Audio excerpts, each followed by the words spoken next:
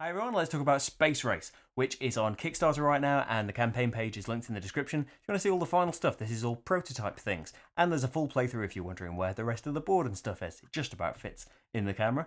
So, this is a really nice you know, engine building game that you are, at the start, not making much progress. It's probably, you know, it's trying to evoke this thing that the scoring is progress. It's the, it's the year that you end up getting to is your score and it's probably trying to evoke that feeling of but as the technology progresses, as we get more and more experienced in this space travel business, that we will be doing more and more powerful things, earning more and more points. You know, you start out, you have these control cards. You, there are four different types of control cards. You have three of each.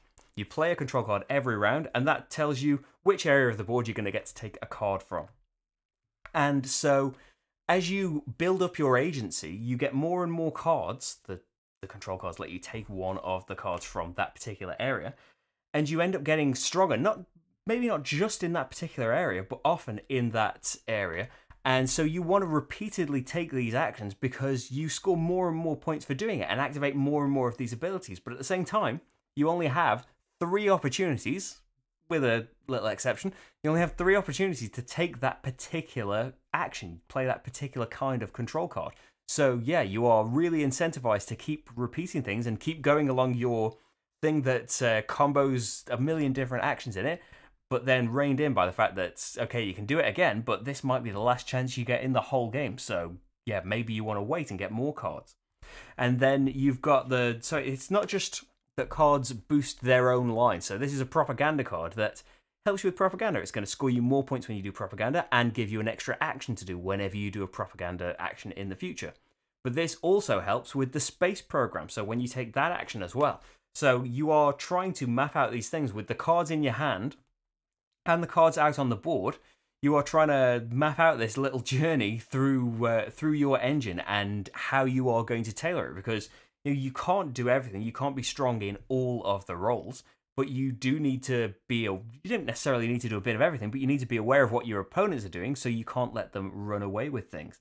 Like say the breakthrough is not so much emphasized on the cards. You can get uh, points for doing it. You can build up your level in breakthrough but it's about these areas on the board and through certain rounds you're going to score those areas and get points for them if you have the majority of astronauts in them and so that gives a an extra little twist on that. As as I've criticized before in other games, that it's not necessarily the game's fault.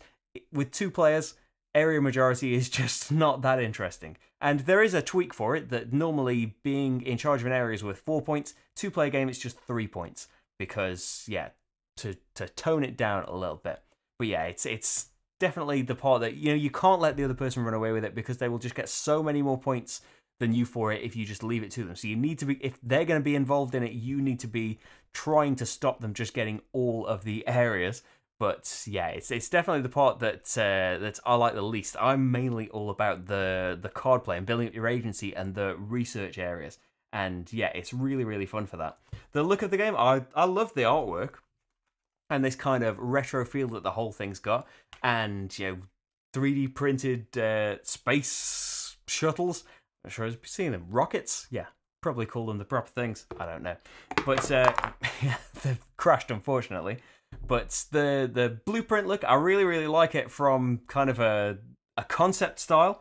But I, and I realize this is a prototype, so this might not even be in the final thing. But with the size of the board, you know, it's it's our entire table, this uh, this board, and the kind of the the thin text, white text on this dark blue background. It's it gets harder to see, you know, this uh, the player aid and stuff, and the cards so far away from you.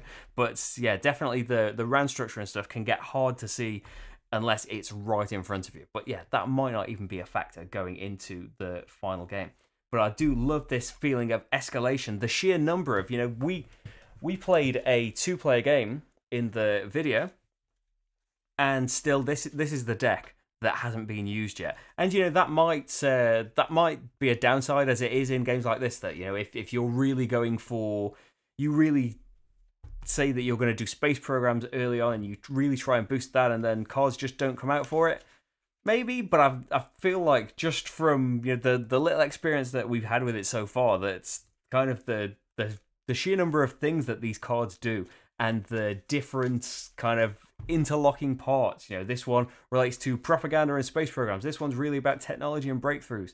The the different combinations and different powers, and it's not just about boosting the levels and the actions that you get. Sometimes they will give you extra things that you can do at the end of the round if they have bureaucracy actions. Some only activate if you're dedicated, and so certain control cards make you dedicated for the round, and so they suddenly become a lot more attractive, even if they aren't the particular type of control card you want to activate in that. There is so much yeah, there's there's there's such a wide variety of stuff in this deck, and you barely see you know a fraction of it in a two-player game. You'll obviously you probably see double the number of cards in a four-player game, maybe even more if everybody's going for drawing cards powers. But yeah, there is there's a ton more to see in there, and I'm sure a ton of different ways that the game can go that we haven't seen yet. But yeah, the playthrough is the main thing though. Watch that and see what you think about it. See if you'd be interested in it. I've really enjoyed my time with it so far it's just a prototype, it's all in progress so far, so things could change, couldn't they? But anyway, there's more playthroughs on the channel, hundreds of them, nearly 300 in fact. We'll get there one day and then I can say more than 300. As always, the outros fizzle out, don't they? They're better than this. The playthroughs fizzle out properly. Final thoughts though. First impressions, yeah. Bye.